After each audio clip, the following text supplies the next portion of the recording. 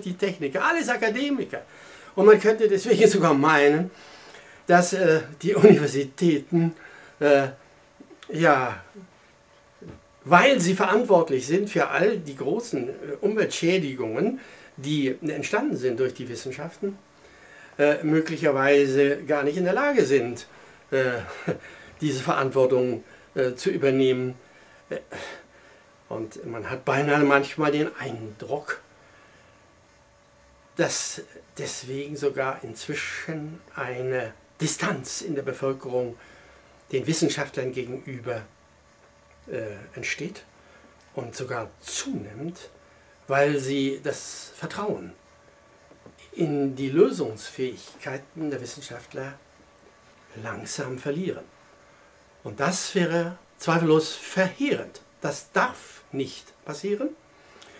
Darum sind diejenigen, die vielleicht auch durch ihr Alter schon ein bisschen weise in ihrer Wissenschaft geworden sind und ein bisschen mehr Überblick bekommen haben, gerade in der Lage, wieder Zuversicht in die Lösungsmöglichkeit der großen Probleme äh, zu verbreiten, die zweifellos durch die Wissenschaften entstanden sind.